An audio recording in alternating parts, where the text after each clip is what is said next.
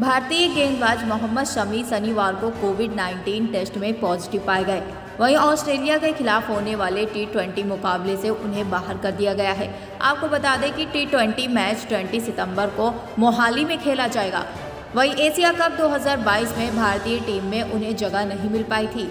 काफ़ी समय बाद वह टीम में वापसी कर रहे थे। ब्यूरो रिपोर्ट आई